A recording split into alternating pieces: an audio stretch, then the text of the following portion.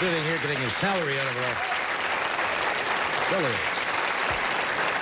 My next guest, you all know, beautiful, talented lady. She is uh, written, produced, and is starring in a rather unusual television special called From Raquel with Love, which will be on the air this Sunday night at 8 o'clock, but not on this network. It's, Oh. as they say, on another network. Your show is on this network. And it's called To Laughter with Love. Isn't that fun? It's a love show. Really? Maybe we can make love with her while she's here. Welch, would you welcome Raquel Welch?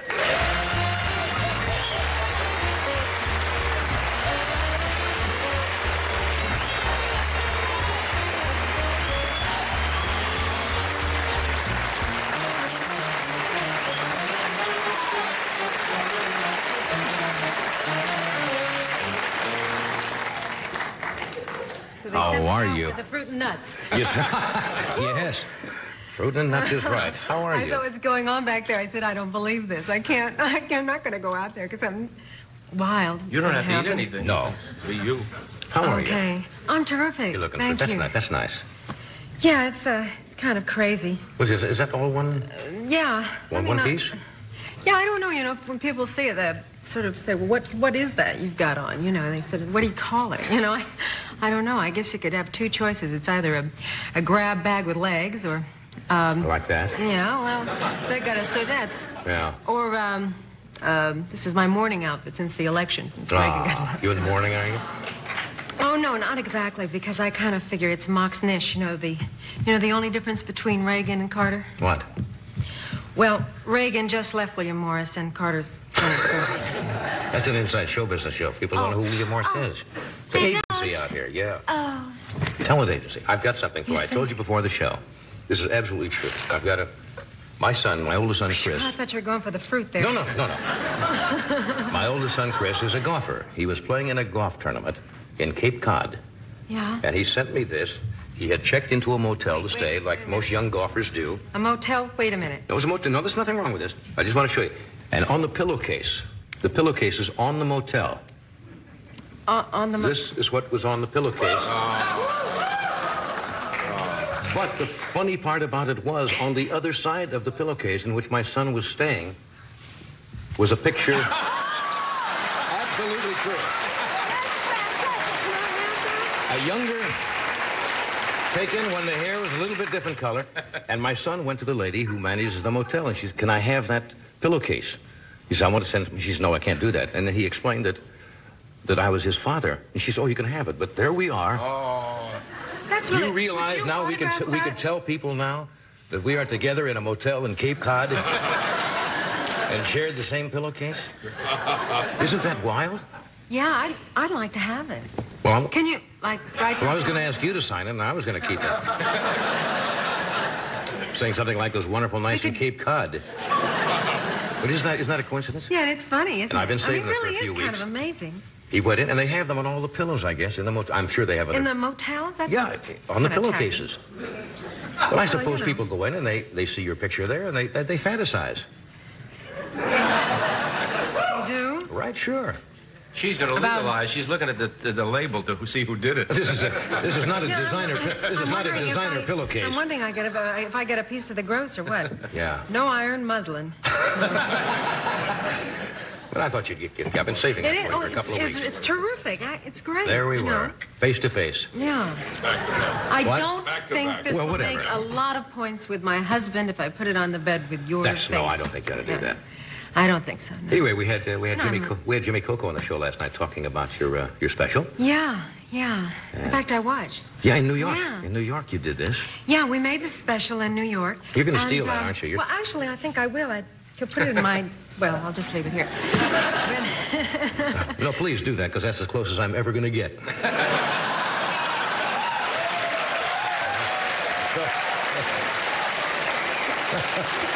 I'll, I'll be happy with that, Raquel. Where did you go right? Yeah, where did I go right? Anyway, he was here and he said he had a lot of fun. You did Um, yeah, this we around did. New we had a real great time there. Yeah. Because, uh, um, well, actually, my husband and I got together and kind of wrote this special, and it was, um, you know, it, we we decided that uh, maybe instead of a variety format, we would sort of come up with a story. You kind of want a musical, a A musical, fantasy comedy. type of thing. A musical comedy, Yeah. actually. And, you know, just a, a nice, thin uh, uh, plot running through. And, uh, I mean, there's some really unexpected moments in it. Jimmy's in it. He's playing... Mickey Rooney. Mickey Rooney. Mickey Rooney is in it. And um, uh, I'm, uh, there's a couple of unexpected moments in it. I'm, I'm running down Madison Avenue uh, one, in one sequence with a straitjacket singing what- Don't Rain on My Parade. And uh, You do this on the street? you do this on the streets? See, in New Yeah, York, if you did that in Hollywood. sure. You ran down Sunset Boulevard in a straitjacket. Nobody would pay any attention. Well, this is true, although it was the first time I was in uh, New York City, and I really felt that I was sort of dressed for the occasion because. I, no, I don't. No, seriously, I love New York. I think it's great. In fact, that's why I. That's one of the reasons that I got the idea is because I'm always hunting for an apartment there the last minute Right. when I go there because I say, no, I really can't go back to L.A. I mean, I, I have a house here and everything, but there's something exciting about New York.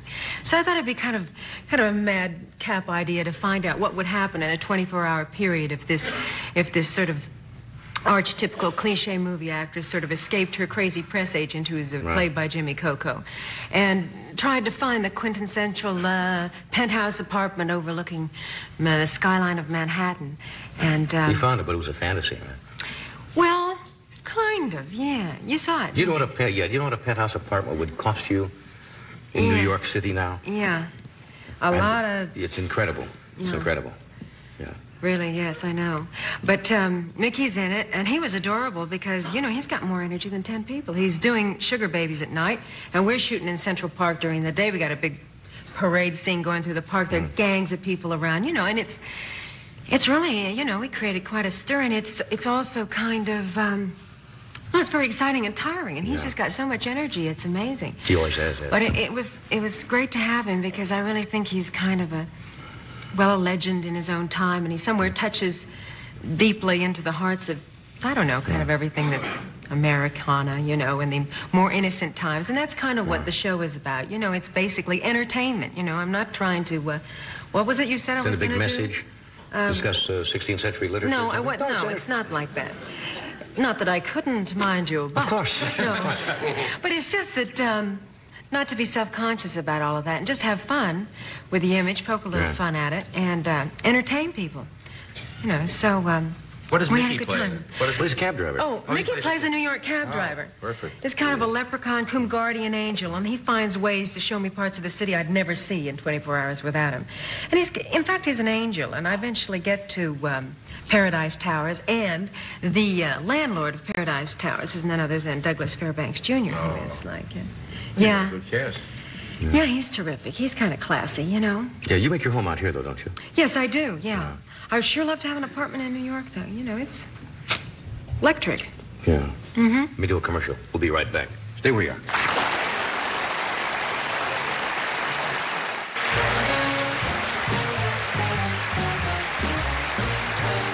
We are back. We're talking with Raquel Welch, Carl Reiner. You were, uh, are you, you still consider yourself a newlywed? You were married uh, Yes. last July, so I guess. kind is a, you know. There's an old question. When does a bride stop being a bride? Is it a year, half a year, or what? One year. They say she's a bride. What do you mean? It has to do with the husband's attitude. It can go on for a long time, yes. But officially, Officially about a week. 48 hours. I figured that. But you still feel like a bride. Yeah, yeah, Yeah, yeah, sure. yeah. No, I no, I just feel good. You know, I mean, yeah, I was, uh, I was with Andre for about three years before we got married, and so there weren't a lot of Surprises. surprises, Yeah. and things were always terrific before, and they remained uh, terrific, and in fact got better. You know, I mean, Yeah. we're working together, and uh, I was kidding you when I saw you in your dressing room because, like, very, this very often happens. What, what did I say? When I saw you in your you don't have to dressing say much, you know. I just said when I saw you, I, This I paid a courtesy uh, call. I said, hello, Raquel. Well, you never do that, John. What? You never do that. That's it. He did not say, uh, I'm making a courtesy call. He walked in the dressing room and he said, zip. no. Let me, let me explain what. Let me explain what. Let, now, it's Now- exactly what I said. Now now, let me tell you why. an ordin- She was wearing a, uh kind of a, a reddish, one of those jumpsuits with a big zipper, and in jest, I went high, zip, and I pantomime zipping. It was all in good fun. Actually, I'm going to pay for this, aren't I, dear? now, ordinarily. Now, You know what I mean. years ago, you and I would have gotten very uptight about that. It would have said, he came in here and he's really a chauvinistic pig. I mean, how can I go out there? He's going to make these terrible jokes and things. And You know, but now it's just, you know. Certainly, I've mellowed, you say. It was all in No, it's just I've gotten used to it. yeah, if you can't, you know, if you can't beat him, join him. I don't, I don't know. Anyway, as I started to say, oh, what I started to say was, as often happens in this town, when you're in the public eye, rumors start about marriages being unhappy. 90% of the time it's not mm-hmm. true, but you've been subject to that al- already, and you've all been married since July. Does, does that get you steamed when you read those things? Certainly not. No, Oh, is this supposed to show that I've got a great sense of humor? no, but you know what I do mean. I do not have a great sense of humor when it comes to things like that. I don't know. It's just, you know, it's so uncalled for. I've seen you get really a couple of. Oh. Have you seen him That's do a- his number when he's been written about? Once in a while I get angry, yes. And I do get, as you say, No, you know what it's. angry. Upset. You know, you know, sometimes you know you're a target in certain areas and you kind of expect it. But sometimes you just feel like they're really getting you on something where you're totally, I mean, you know, I mean, it's just so off in left field that they're really trying. I'm always And you just wonder, hmm? Have they ever written bad? Now, Carl, I can't imagine them No, writing but you- something bad about you. No, there, there's no way you can write bad about me. Mr. No, I'm sure. I'm sure they have. I've I- never seen anything. No, I, yeah, I, well, I'm not a, I'm not a sex symbol like you two guys. Oh, come on. Yes. No, you're, you, you're, you're in the public eye much more. I, I'm, you know, retiring. No, no. Back. But Yeah. it's, uh, you know, uh, i i- it's a bad, it's a bad trip anyway. But that's part- I don't want to give them more. But that's part of being in the public eye. You know that. And you just have to kind of dismiss You're most of it telling anyway. me, Sure. you know, I would like to be around saying that to you when you, when you got something written about you. I Yeah. see how you get. I do get angry, yeah. Yeah, and I could get pretty mean. Did you ever project ahead? What would you like to be doing? Did you, did you ever look ahead or do you just live day to day? What would you like to be doing 20 years from now? How do you see yourself 20 years from now? 20 Yeah. years from now. I, um, I don't know. You'll be 47. Yeah. I, no, actually, you know, I had my 40th birthday. Yeah, it was in the paper. And, uh, I don't know. That was You're a fine looking 40 year old woman. Well, just, you know, now don't. I didn't, I didn't mean that as chauvinist. I just said you were. Now, this kind of thing is like faint praise, first of all, and secondly, You it's love like it. no, Just, they're just no, applauding. like you know, they're really applauding your bones. That's all. It's bone structure. It's the bones. It's you the think? bones. Yes. Well, anyhow, what I Isn't that what they always say when somebody they have fine, Great bones. or Fine bones, fine bone yes. structure? But her bones were put together so much better than our well, bones. I, I hope that all the And the bone covering was done well. the covering of the bones. We're in a silly mood tonight. Anyway, can you no, visualize no, and project well, ahead? Actually, I can because you know it's funny. I um, I recently I can even mention this network. I actually did a uh, movie for this network, which I played. think. You played an Indian, an I elderly. played, played an Indian. It's a sort of dramatic saga that's two and a half hours long, which I guess uh, once they figure themselves out over there, somebody will make a decision that'll be on this fall. Yeah. But um, it's funny because in the epilogue of the piece, there's about three minutes where I play myself at seven, uh, not myself, but I play this Indian woman, all weathered and beaten down at 70 years old, a kind of survivor of the of the Battle of Little Bighorn. Right. And it's kind of relaxing. you get the to play day that I got 70? all that stuff put on my face, you know, it was so Mm. relaxing. it was like all wizened up and sort of, mm, and I, I don't know. I just thought, this ain't bad at all, you know. It's kind of peaceful. Yeah, But you didn't say I can't wait. I want, to I want to be like this tomorrow. I- that is not altogether not. That's not altogether true. That I- is not I know what you're altogether true. I guess it's because you know. well, most people would like to live to be 70 and be in good health and everything, so there's nothing wrong with that. I just wanted Yes, to that's true. fantasize ahead. With Well- you, uh, will Well, be. I'll, uh, I don't expect to be sort of going off into the sunset in the bugle beaded gown. No, I don't expect that, and I don't want it. yeah. And I, uh, I don't know. You know, uh, I could, I could write, I could produce, I could do a lot of things, and I could just uh, not do any of that too. Have you written your And autobiography at all? be- You ever oh, sit down and written a- No, no, no, no. I'm Doesn't appeal to you? Actually, it doesn't appeal to me at all. But I mean, I suppose if they offer you big enough money, I mean, you do it. Yeah, oh, yes. You know. I, I don't know. It doesn't appeal to me an awful lot. I, I tell you the truth. One time, somebody did start to make some notes about my life, and um, about my parents, my childhood, and everything.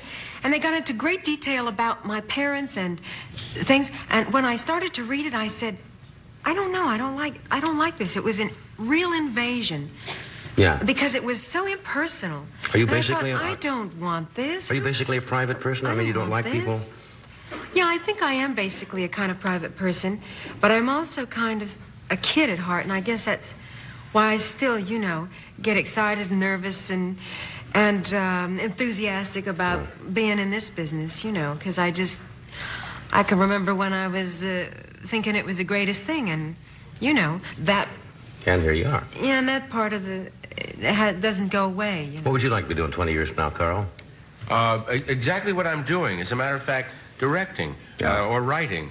Um, and, and you can do that when you're very old. I mean, I. uh, well, I'm, no, I'm very excited when I, you know, George Burns is, a, is, is our. There's an example, Is the guy example. we watch for. We say, Shay, he's still dancing and jumping. And of course, George Cukor is directing a picture now. He's in his 80s. And, and you can always write. I mean, if you, Yeah. if you could ever write, you could certainly write as you get older. That was great. We're going to take a short break. We'll be right back.